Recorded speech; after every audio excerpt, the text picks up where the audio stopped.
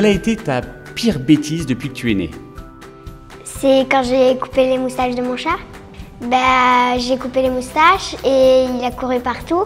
Papa l'a remarqué, il m'a puni. Mais t'avais pas réfléchi avant? Ben non, je trouvais qu'ils étaient un peu longues. Et ton chat, il t'aime bien maintenant? Bah oui, mais après il s'est enfui. Hier soir, eh ben, j'avais, j'avais touché au, euh, aux prises et du coup, moi je savais pas si je allais m'électrocuter. Mais pourquoi tu as fait ça? C'était juste euh, parce que juste un signe que je m'ennuyais. Quelle a été ta plus grosse bêtise? Casser la déesse de ma sœur, euh, faire tomber l'eau du, du bouquet du poisson rouge. Que j'ai cassé le manche de la casserole qu'on pouvait pas le remettre. C'était la casserole préférée de maman.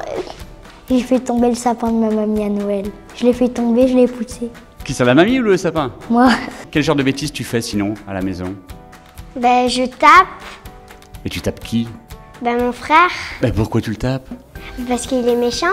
Alors est-ce que tu es puni quand tu tapes Des fois, des fois je le dis pas, des fois euh, il le dit pas. Aussi des fois je menace. C'est-à-dire Ben je lui dis, il me le, il me le, il le dit pas, sinon je le tape.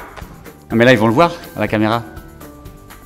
Ouais, mais je tape moins souvent depuis. Ah oui déjà c'est un peu moins, ouais, d'accord. Beaucoup moins. Ah. Il est plus gentil. Quelle punition il faut donner aux enfants? Euh, chez moi, c'est euh, qu'on doit désherber le jardin et du coup, on enlève tout- tous les cailloux minuscules. Il faut qu'il reste dans sa chambre pendant une heure et après il revient et il s'excuse. S'il nous enferme dans notre chambre, euh, interdit de goûter, surtout. Ah interdit de goûter, ça ça marche. Oui. Euh, surtout pour les gourmands. Quand papa il hausse la voix très fort, ça me fait peur. Il a une grosse voix papa. Moi, c'est privé de console dans ma chambre à recopier, euh, dix- euh, à recopier euh, je suis sage euh, 100 fois. Copier ou copier? Copier. Comment se faire obéir Il faut dire gentiment Est-ce que tu pourrais mettre le couvert s'il te plaît? Et si c'est dit gentiment, l'enfant obéit. Pas trop, des fois ça marche pas. Crier, c'est pas la meilleure façon de- d'expliquer aux enfants euh, comment faut se comporter et enfin comment faut se tenir. Est-ce que crier, ça sert pour se faire obéir? Ouais. Ça marche? Ouais. Sur toi ça marche? Euh, ben, mon père, quand il me dit bah, désherber le jardin, il dit gentiment, après il crie direct. Et là ça marche. Oui. Et quand il crie pas, ça marche pas. Et non. Mais pourquoi? Ben, parce que c'est pas sévère. Est-ce que tu es plus sage à l'école ou à la maison? À l'école, Mais pourquoi? Il faut respecter les adultes. On est avec les amis, l'école c'est fait pour apprendre, pas taper, euh, punir. Et la maison alors c'est fait pour se déchaîner alors? Bah un peu. Vaut mieux se déchaîner à la maison qu'à l'école.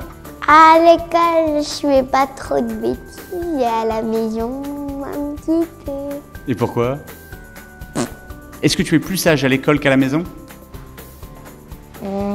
Les deux. Euh, je fais euh, des bêtises à l'école et à la maison. Est-ce que tu es plus sage à l'école ou à la maison? À l'école, Pourquoi? On a du travail à faire et du coup ça nous calme. Donc il faut vous donner du travail à la maison. Beaucoup de travail. Est-ce que tu es plus sage à l'école ou à la maison Hmm, à l'école.